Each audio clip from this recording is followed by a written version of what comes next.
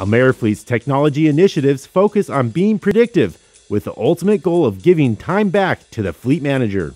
So Amerifleet's technology initiatives are really centered around a, a few key areas. One, we got to give time back to our customers. Uh, we do that by creating technologies that help them make uh, help them become more efficient. Um, and a couple of ways we accomplish that. One, we try to be predictive using historical information, using trends we see in their data. That helps us to predict the environment that we're going to operate in and predict what our customers' environment might be going forward.